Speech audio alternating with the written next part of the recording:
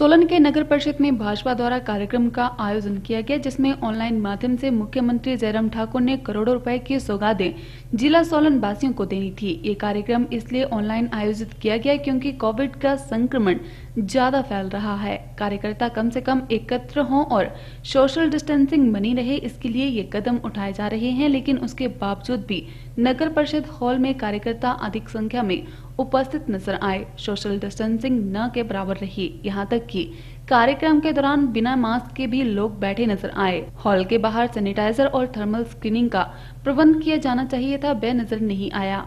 जिससे साबित होता है कि राजनीतिक कार्यक्रमों में कोरोना नहीं आ सकता है। नियम केवल आम जनता के लिए बनाए जा रहे हैं। जब इस अव्यवस्था के बारे में उपस्थित नेता कुशल जेठी से पूछा गया तो उन्होंने कहा कि मुख्यमंत्री करोड़ों रुपए की सौगात सोलन वासियों को दी है, जिससे सभी बेहद खुश हैं। लेकिन जहाँ ये कार्यक्रम आयोजित किया गया, वहाँ मुख्य द्वार पर सैनिटाइजर और थर्मल स्क्रीनिंग का प्रावधान होना चाहिए था, जो यहाँ नज़र नहीं आया है।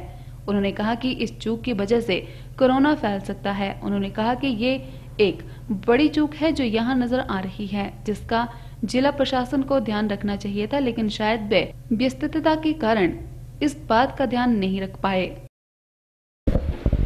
आज जैसे कि कार्यक्रम में हम भी आए और माननीय मुख्यमंत्री जी ने सोलन जिला को बड़ी सौगातें दी हैं, करोड़ों रुपए के शिलान्यास और उद्घाटन किए हैं। तो माननीय मुख्यमंत्री जी को तो पहले धन्यवाद इस बात के लिए।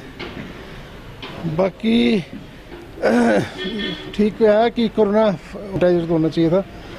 थोड़ी चूक हो सकती है, बड़ा कार्यक्रम है, व्यस्तता बहुत होती है प्रशासन की भी। तैयारियों में समय लग गया होगा शायद थोड़ा भूल गए होंगे।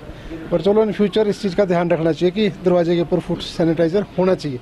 उससे ज़रा सेफ्टी होती है, क्योंकि ऐसा ना जी, सरकार ही खुद ही बोलती है और हम भी, हम आप सब अवेयरनेस लाएँगे तभी तो हम बचेंगे। और ये जैसे वैक्सीन नज़दीक आ रही है, उससे पहले हमसे चूक ना हो जाए। इस करके थोड़ा सा हमारे को प्रिकॉशन तो लेना पड़ेगा। तो मुझे आशा है कि इन फ्यूचर जो है कि इस चीज़ों का ध्यान रखा जाएगा चलो, इंसान गलती का पुतला किसी से गलती हो सकती है। तो उसके बारे में तो हम, इसको सुधारा ही जा सकता है, और तो उसमें कुछ नहीं किया जा सकता। इन फ्यूचर इसमें ध्यान रखा जाए इस बात का।